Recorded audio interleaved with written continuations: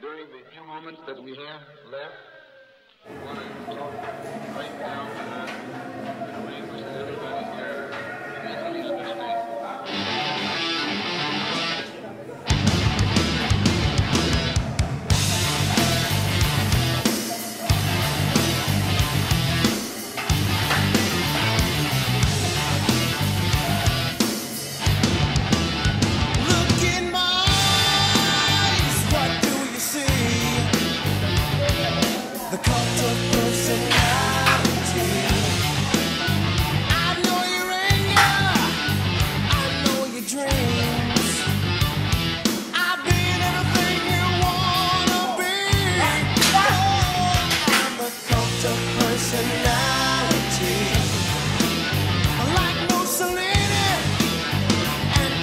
The